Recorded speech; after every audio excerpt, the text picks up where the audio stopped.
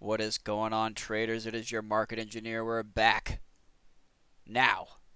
Been getting lots of questions on social, on the comments and stuff, and I kind of just wanted to do a video on this in general. How I'm planning on playing this, and I plan on playing it very similarly to how I played these guys right here NKLA.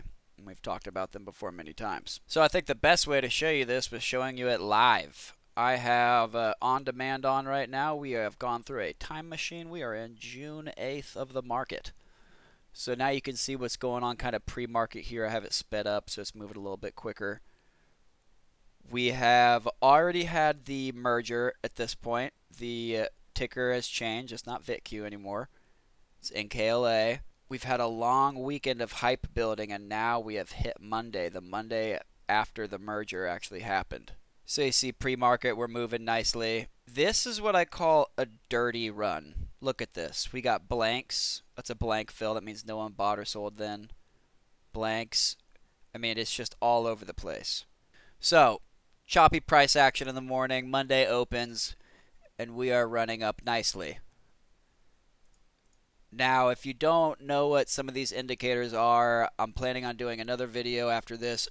In that video, I'm going to touch on you know what they all mean in more detail, but I'll I'll gloss over it in this one. So I have three indicators here. I got three different daily SMAs. These are a little bit different from uh, an EMA or, or, just a traditional SMA in that it, it focuses more on the daily. Anyways, the orange is our most aggressive line. This tracks the price action very closely.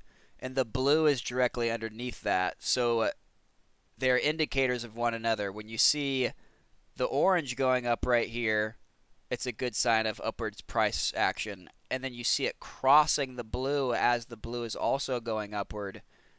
Another great indicator, and boom, rocket ship. So this is what I call a clean run. You got the two minute SMA blowing through the nine minute, and we just have beautiful candles here, all filling green. Some of them are completely filled up, which we'll touch on that in the other video too. The candles tell you a lot of what's going on.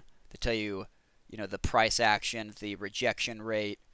You know, for instance, right here, the first indicator that this might not drop straight down is this candle right here, where you see it didn't completely fill; it filled partially, and then it wicked, meaning that the the buy pressure didn't allow the sell to fall this far. It pushed it back up to that point.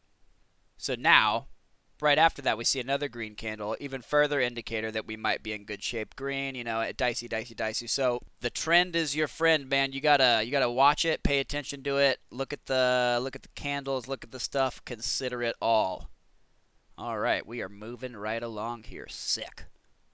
So now with a crash course lesson and Daniel's indicators, and kind of talk about how I ended up playing this finally.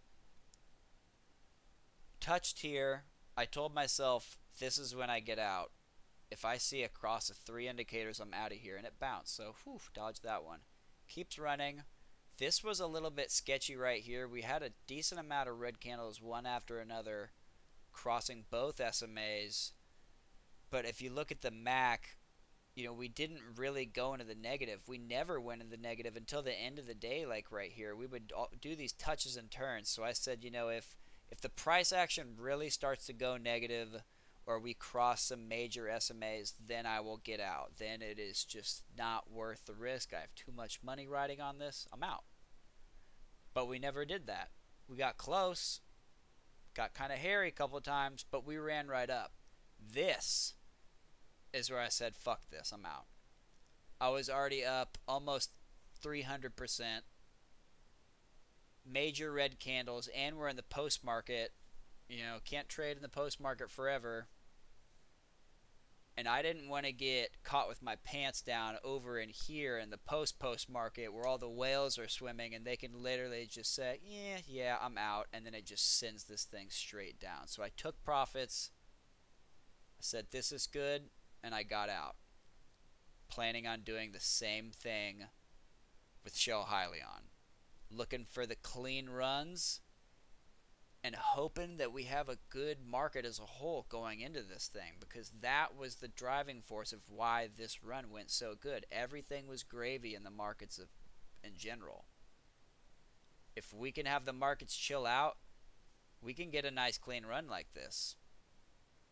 If the markets don't chill out, we might not get a run and it certainly won't be clean. So keep an eye on the S&P 500, keep an eye on all the things. That 3300 level has been a bitch for the S&P. Touch and turn a couple of times. So look out for that. See if it breaks and holds. That'll be a great sign moving into Monday. I'm Daniel, I've been your market engineer. I hope you enjoyed. Like the thing, do the stuff, follow me on the social. I am not a financial advisor. This is not financial advice. All the stuff. Catch you in the next one.